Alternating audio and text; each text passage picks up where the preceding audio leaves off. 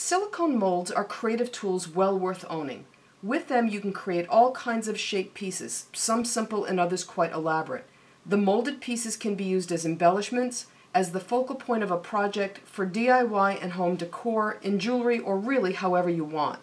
In today's video, I'm working with Finnabair and Prima Redesign molds and using Creative Paper Clay and Quick Cure Clay as my molding mediums. Let's start with the molds themselves because they're really the stars of today's show. I'm working with Prima branded molds. Some of them are their redesign brand and some of them are Finnabair's molds. They're all silicone, so they're all going to withstand the heat required to cure quick cure clay. Some of them are marked food safe, which means you can take them in the kitchen and you can use them to mold chocolate or fondant or anything that you want. However, with safety in mind, the minute you take a mold from the kitchen and you bring it to the studio and you put clay in it, or the minute you bring an implement from the kitchen and you bring it into the studio and, touch paint or clay with it, it should never go back to the kitchen and never come into contact with food again. So let's look at the variety of things that we have here. We've got keys, we've got a face and some other elements. This is a big set of wings and some other elements. Lots of pieces that you can use. Think of think of taking a good sized piece and making it the focal point of a journal cover. Or think about the kinds of compositions that you see Finnabair make where she's taking lots of 3D elements and she builds them up and creates these very dimensional pieces. If you don't happen to have all those wonderful dimensional pieces, well now you can make them out of clay and you have the opportunity to get very creative with these in a variety of ways. So whether you're talking about ones like this that you'd use for clay, or ones like this that maybe you would use on a home decor piece, or maybe one of these clock elements would be great on the front of a journal. There's just so many ways that you can use these. So there are big pieces like this. You can see how big this is. Great for home decor. If you are a DIYer or maybe you want to take a wooden box and you want to create this really cool storage for a gift or for your own stuff that you want to put in there. Maybe you want a big piece for the lid or for the front, or maybe you want some kind of a curlicue or a swag, or maybe you want a strip like this, and these would be great on journals too. With these molds, you have the ability to create all these various pieces. I mean, look how cool, how big that rose is. Think of all of the ways that you could use these. So there's big pieces, there's little pieces. I mean, you can look at these and you can see all the various shapes on here. You can layer them together to make even taller, more 3D pieces. So with these molds, the sky really is the limit. Let's slide these out of the way for one second and let's bring the clay in. So as I mentioned, I'm working with Creative Paper Clay. And this happens to be a one pound brick. It's available in 4 ounce, 8 ounce, and this 16 ounce size. It's an air dry clay that doesn't require any special equipment to dry and cure. There's no odor, it's really soft and easy to manipulate, but it will dry out. So here is the one pound brick that I'm working with, and you can see that it's in a Ziploc bag. The minute you cut a bag of creative paper clay and you open it and you expose it to the air is the minute it starts to dry out. So you don't want to open, if you're going to use this much clay, open a four ounce bag. Don't open one of these really big one pound bricks because you're just going to waste it. Which is not to say that it'll be dried out the next day when you go to use it, but six months later it may well be. So what I do to try to kind of forestall that drying out process, when I'm through today, I'm going to put some water in here and it might feel pretty wet, but if I don't come back to this for three or four days, it's not going to feel really wet anymore and I'll be able to use it. And I'm not going to find this top edge where I've been pulling the pieces off has dried out. And then once I'm through, and when I pull a piece off, I tend to put it back in the bag and seal it. But especially once I'm through for a session, I'm going to fold this down and I'm going to start to zip the bag and I'm going to burp as much of the air out of this bag as possible before I finish sealing it so that, again, I'm holding off that drying out process. Quick Cure Clay is an entirely different beastie. Also available in multiple sizes. This is a 4 ounce bag, there's an 8 ounce bag, and there's a 1 pound bag. And recent, Ranger recently released, I want to say it's a it's a tub about like this. I want I think it's about seven or seven and a half pounds. So this is a pliable clay that here is my working bag. And you can see that it's open. And the reason that it's open is because air does not make this dry out. There are a lot of clays that you would need heat to go ahead and cure, but you have to keep that bag closed up like I just showed you with the, with the paper clay because it will dry out. That's not the case here. This will sit open for however long and you can come back to it and it will be fine. So this doesn't take any specialized equipment to cure it.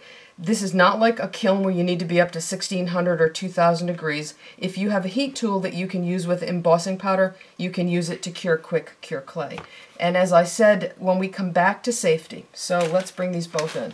With creative paper clay, I don't really, there's no safety precautions that I take. For example, I don't use, use gloves when I wear it. There isn't any odor. I don't do anything other than keep my molds and my tools separate. I don't have any sensitivity to paper clay, and I don't wear gloves when I use it. With, with Quick Cure clay, I do wear gloves when I use it, and you'll want to take those same common sense precautions. Keep the clay away from the food stuff, keep the clay away from the stuff that you might mold food with. I do, as I said, wear gloves when I handle Quick Cure clay, and when you cure it, you'll want to work in a well-ventilated area. The clay has a little bit of an odor, and you can smell it a little bit more when it's curing, and as the curing process happens, once the reaction begins, you may see a tiny plume of smoke. It's not like a big poof, it's just a little tiny trickle of smoke that you may see as that reaction recur, uh, as that reaction occurs. So with all of the details covered, this is all the boring stuff that you kind of have to get out of the way. Let me pull some things together and I'll come back and I'm going to show you how I mold paper clay and the ways that I work with it to try to get the best results possible. Though these are two entirely different kinds of clay, the molding process is really the same for both of them. I'm going to mold this flower right here, and I am going to start with the creative paper clay. So I'm going to pull out a piece of clay that is about big enough to do that, and that looks like it might be a tiny bit small. I will tell you that the, the better a job, the more careful you are here in the beginning, the neater you are in the beginning, the less cleanup you're going to have to do to the piece once it comes out of the mold. So you can say that this piece is kind of all rumpled and it's got folds and creases and all kinds of marks in it. If I press that in there, I'm probably going to see some of them. So my answer to that is to take a piece of clay and roll it into as smooth a ball as possible. And now what I have is far less marks on the surface of that clay. And so what I'm going to do is squeeze it into a disc. The whole point of this is that what faces down into the mold doesn't have lines or grooves in it to start with because they're probably going to end up there after the fact.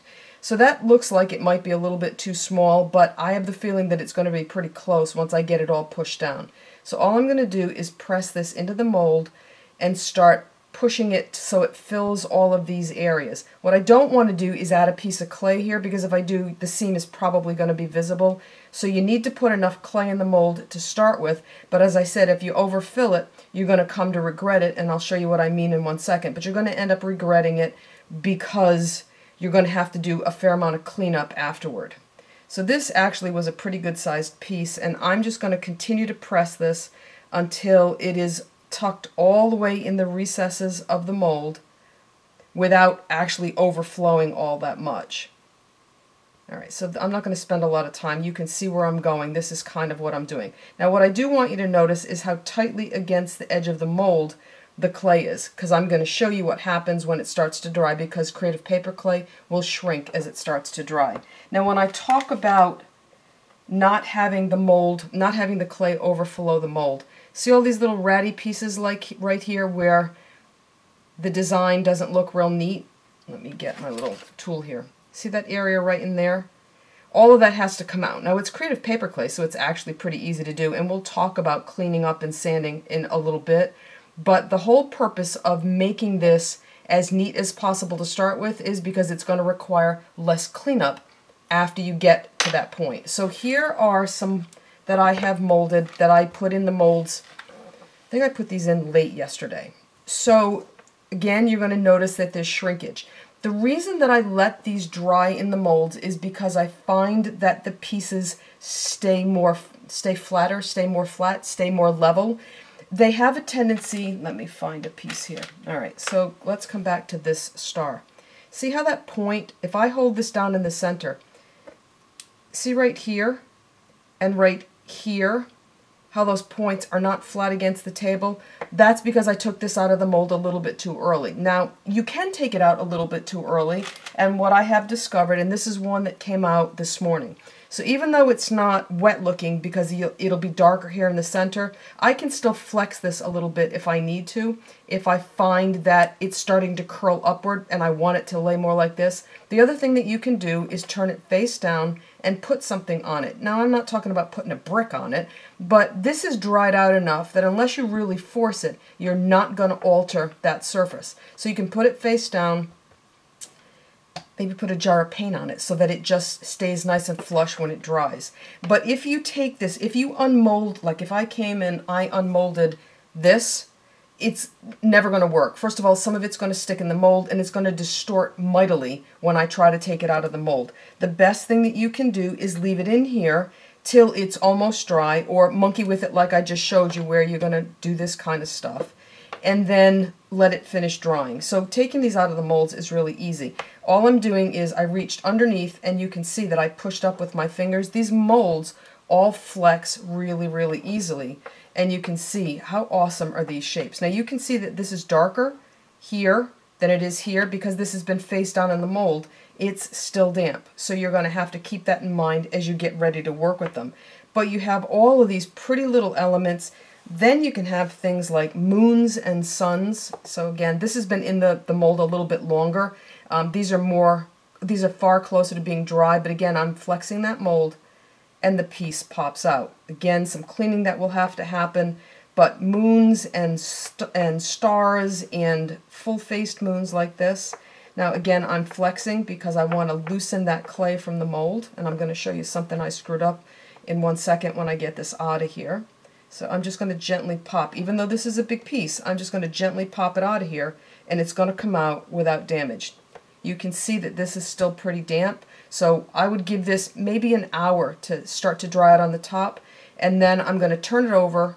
I'm going to turn it over, if I can get my fingers under it, and I'm going to put it face down, and I'm going to try to keep that with something on it to keep it as level as possible. Alright, so what happens when you take something out of the mold incorrectly? Let me see if I can find it. Someplace here I have a mold and I, it's numbers. Oh, here it is. So this is really cool. This is Roman numerals. Really fun. And I started to pop these out and everything was groovy. Out comes the, the I and out comes the V. And then I did this. And uh, yeah, no, not so much, Barb, because that's really not the way you wanted to do that. So you kind of have to think about the shape a little bit when you are removing it from the mold. Something like any of these where they're just kind of a little block shape, you're not going to have any difficulty in, in when you start to unmold them at all. All right, so now let's talk about cleanup a little bit. And I'm just going to slide these over here because I'm not going to show you those.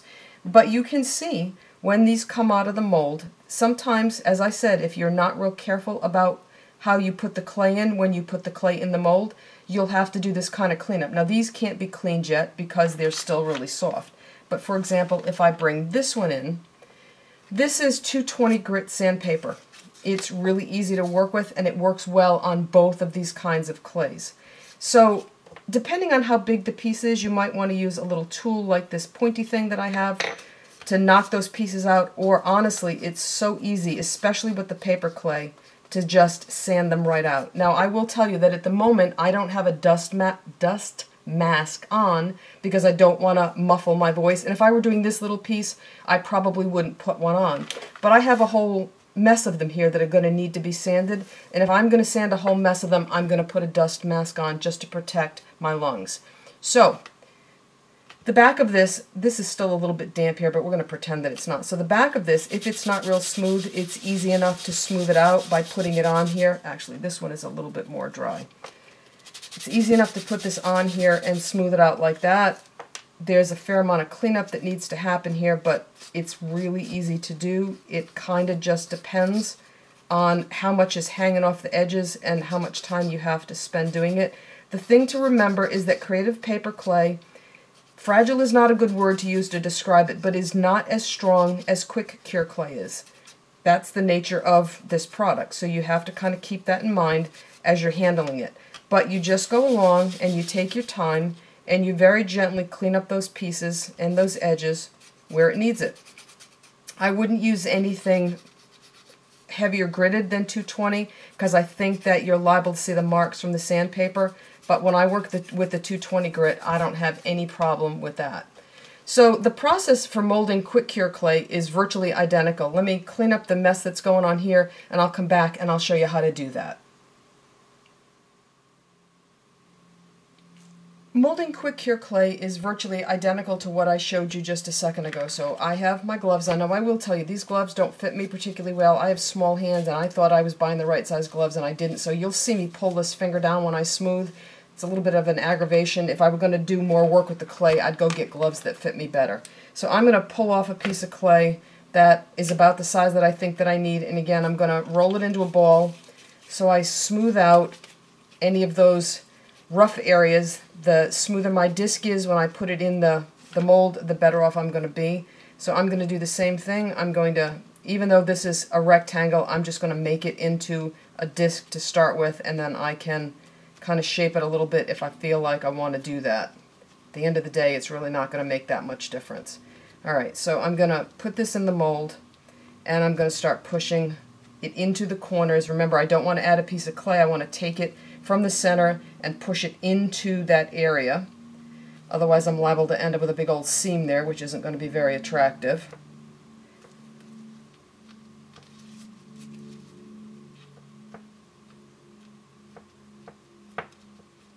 Alright, so that looks pretty good. Now, unlike Creative Paper Clay, this is not going to shrink as it cures, but I am going to take the time to smooth this so that I don't have a lot of sanding to do afterward. It's easier with the quick, excuse me, it's easier to, to smooth that out with the Creative Paper Clay, but even though this makes a harder piece um, that is far stronger to Creative Paper Clay, it's not all that hard to sand it, so it's, it's no big deal one way or the other. So to cure this, I'm going to take the gloves off now because I don't need them. To cure this, I'm going to bring in my Ranger heat tool. I'm going to start by wafting the heat kind of around the whole piece to warm it all up, and then I'm really going to concentrate the heat in one area. Now remember, you can't hear it, but there's air movement going on in here so that I have good ventilation. You always want to keep safety in mind, especially when you, you turn the heat onto this. It's probably going to take a couple of minutes before the reaction even begins because you've got to warm all of this clay to whatever the required temperature is for that reaction to begin. So we'll probably edit part of that out because this is going to be like watching paint dry and that's not any fun either. So again, I'm going to start by wafting the air around here. I want to get this evenly heated up to start with. Now I will tell you that you're going to sit here and you're going to wonder, has this thing, has this thing, has this thing started? And you're going to make yourself a little bit crazy wondering. I have a piece here that I'm going to show you how to unmold because this is going to be hot and I'm not going to be able to touch it. But listen to the difference. That's very clearly cured. You can, you can hear the difference. So if you feel like you need to test this as you're going along, bring in the back end of a paintbrush and if you don't hear that, you know that it's not there yet you will actually be able to see the reaction. Whether or not you can see it here once it happens, I'm not really sure of. But as I said, I will show you this process from this beginning until it's done, although we will edit out the however long in between it takes before that reaction actually begins. Once it starts, it'll begin in a point and then it will work its way across the piece. As I say, you may see a tiny plume of smoke. You may not, because sometimes the air movement pushes it out of the way and you don't actually see it. Alright, so now that I've kind of warmed this whole thing up, I'm gonna, and I'm working on a tabletop that has nonstick craft sheet on it, so it's heat resistant and I'm not gonna char anything. You don't wanna work on paper, you don't wanna work on wood. Make certain that you work on something where you've got heat protection. Okay, I don't know if you can see it, but the reaction has started in this corner and it's now moving that way. If the heat tool weren't running, you might hear a little tiny bit of crackling. Again, can you see that reaction as it happens, as it moves away? When it stops, when it's reached all corners of this, is when everything is done. You can see it's almost there here, it's almost there here, and we've just got to wait for it to fill in all of these corners. All right. I can test, and I believe that we are done.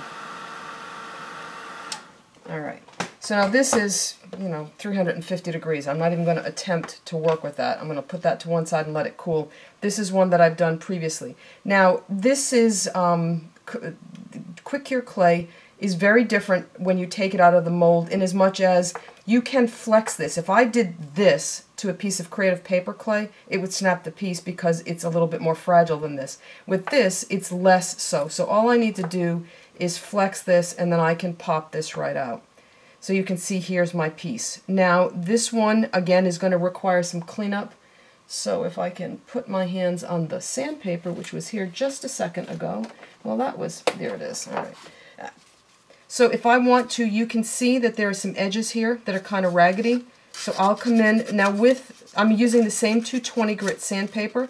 You can certainly apply more pressure when you're sanding quick cure clay than you would with the creative paper clay because it is a much sturdier finished piece. And I'm not going to spend a lot of time. If you have a nail file, the the wide ones that are kind of um, they're not like an old-fashioned nail file that's really thin. These are thicker. Um, you can use one of those if you have it. I like sandpaper. I just find that it's plenty easy to work with, and so that's what I do. If I want to smooth out the back, again, I can do that same kind of thing. Although it's going to take a little bit more work to smooth that out because quick cure clay is harder and creates a much more what's the word that I'm looking for? Rigid is not the word that I'm looking for. Much more sturdy. It's a much sturdier piece when you're done. Um, so if you want to sand that back off, you can. But honestly, it lays flat. I'm not worried about that. If there's a little bit of a high spot, which there might be right there, again, you can sand it off. If you have a belt sander and you're confident, you can turn the belt sander on so that the sander is, uh, the, the belt is up facing you and it's rotating. And you obviously have to be really careful of your fingers, but you can put this on here and it's on there and it's a lot faster than doing this. So this is it. Once you get your pieces to this point, and I'm trying to find a paper clay one, this one hasn't been sanded yet, but it would be easy enough to just come in here again and, and clean these edges up. Once you have these pieces and they're all cleaned up and ready to go, it's time to think about adding color. Today I'm working with a couple of different products, but the list of ones that you could do this with, this adding color step, is pretty long. So I'm going to use Finnabair's Art Alchemy paint. I've got a couple of colors of sparks out. I have used the Metallique. I've got some Nuvo embellishment mousse, but paint. Tim's, Diane, Dina's, all of those will work if you don't want glimmer, then they're perfect. Lots of other brands are going to work as well. Nuvo Embellishment Mousse is great. You can thin it with water and make it a wash. You can use it to highlight, and you can see that I've started to do that here. The sky's the limit. Bring the colors out, try them, see what happens. You can even use alcohol ink on the quick cure clay pieces. Just works really well on that.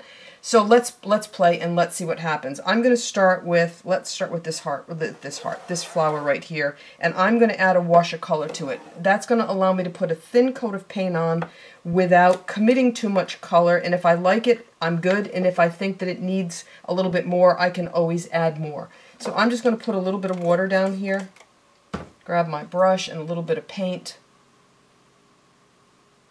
and just thin this down. Now that's way too much water, so let's just bring a little bit more paint in over here. Now this particular color of Sparks is a base color that's kind of pinky and you can see that there is silver in it. So that is the effect that I'm going to get here. Go ahead and put that on. And if I think that that's too much coverage, it's easy enough. I'm just tapping the excess paint out on a piece of paper towel and I can come in with some water and thin that out so it becomes far more transparent. It really depends on the look that you're trying to achieve, but you can see how easy this is to do. And if I want to come back, so if I wanted to let a little bit of color puddle in the center, let me turn that so you can see it. I could do that and I would get a darker center. I'm not going to, but it's certainly an option. So obviously until that dries, I'm not going to be able to do anything else with it. So let me use the same color and let's work on this. So you can hear the difference. Quick Cure Clay, creative paper clay. And I don't know if I said this earlier. A commensurate piece made out of paper clay is going to be a little bit lighter in weight than a piece made out of the quick cure clay. But the trade-off is, is this is a teeny tiny bit heavier, but far, far sturdier. I can't snap this. If I did that, I would definitely snap that in half. All right, so let's work with the same color and just go ahead and brush some of it on there. I'm choosing to go really light. I want the color to be layered so that there's a little bit of nuance in it. You can do whatever makes you happy. If you want a big old coat of paint, then go right ahead and do it. But you can see how effective this is. So typically what's going to happen with something like this is that when you have something that's got lots of recessed areas like this, some of the color is going to settle in there, and I just need to get paint down in there. Some of the color is going to settle in there, and on the higher spots, it's probably going to be lighter. And that's what adds some real depth and some interest, especially to these pieces that have all of this pretty detail on it. So again, I can put that to one side and leave it alone. Now this is a piece that I did with a different color. This was the Sparks that's named, let me find the jar. This is the Sparks that's named Butterfly Spells. I thinned this a fair amount. Now this is completely dry, so let's go ahead and put the cover on here and just get that out of the way. Now what I want to do is bring in some of the Nuvo embellishment mousse. This color is, what is this color? Um, French Rose. So I'm never going to dip my finger in the jar because that's liable to add some contaminants and then you get mold bloom and bad things happen.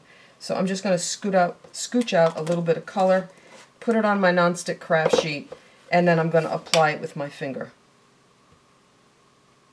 Alright, so all I want to do is just highlight this a little bit.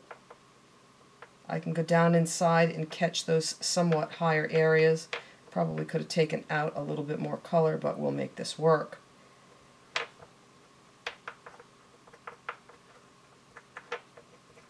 Alright, so there you go. You can see how that works. Now I've got a little bit more of two-tone color. Now the difference here is that the darker color is actually on the high areas, and here, if the darker color is going to settle, it's typically going to settle down in those grooves. And in fact, what I should have shown you is that if you want to really enhance that effect, so let's come back. Let's just dry this off. It's got the same color on it. If I want to enhance that effect, I'm going to take a little bit of water to thin this down. But I'm going to really push this into the grooves And then let's take a clean piece of paper towel. Let's get this out of the way. And this is how you figure this stuff out. Experiment. Decide you don't like it and change it up. So if I come in and I press like this, now you can see how cool is that? The dark colors are down in the recesses and I've lifted the color off of all those top areas so I get some real dimension. And if I think that, like right here, I took out too much color, it's easy enough to add it. While it's wet, it's easy to manipulate and you can do things with it. So again, I can just lift the color off of the high spots and there it is. It's darker in the in the lower recessed areas. All right, so let's put the cover back on this and let's talk about embellishment mousse on a piece that hasn't had any other color put on it. So I'm just trying to clean my fingers off. So here's this, and this color is aquamarine. So again, I'm gonna make sure that's clean pull a little bit of color out, put it on my bench, and then start adding it. Now in this case, my recesses are going to be just the color of the embellishment mousse. I can go a little bit heavier. Now I've kind of squished it down into those recesses a little bit there, but you can still see them because they're the original color of the clay. I can come around and do this on the edges. So depending on how you choose to add your color and whether or not you choose to let it get down, if there are recessed areas, whether or not to let it get down in there, you can get some really interesting looks. And again, what you choose to do with these pieces might dictate how you color them, or maybe you just play and let the finished piece decide where it belongs best. So there are way more options for adding color to these pieces than I've shown you here. And this is going to be re whoops, really cool once it's dry. This little moon face, and in fact, so the color I used on that was unicorn, but I thought it would be fun. And you know what, before we call it a day, this is dragon's eye. So let me rinse my brush out, and let's see what happens when we grab someplace here. All right, so this is Dragon's Eye. Let's just add a little bit onto the star because the star kind of should be goldy yellow, right? All right, I'm just going to take a little bit of paint from here, put it on my table, and then add some water. So there's way more ways that you can color this than what I've shown you. Don't be afraid to experiment, to add your color, to try different things and see what happens because it's that process of experimentation that typically yields all kinds of really cool results. Alright, so I think that this actually needs a little less water and a little more color. So let's clean that out, bring in some more paint, and give it a whirl. Oh yeah, I like that better. So this is one where maybe a wash isn't as good, and just solid color is, is produces a, a result more in keeping with what I had in mind. But as I said, there's lots of ways, lots of products that you can try with this that are going to give you all kinds of really interesting results. And then once you have your pieces, then it's time to start thinking about all of the fabulous things that you can do with them, all the things that we talked about earlier in terms of on the cover of a journal or as a home decor piece or imagine a frame with little stars on the corner. How cool would that be? So you can you can do just about anything that you want here. Don't fight the rules, uh, do fight the rules, challenge all those ideas, do what you want, and I'm sure you're going to be thrilled with the results.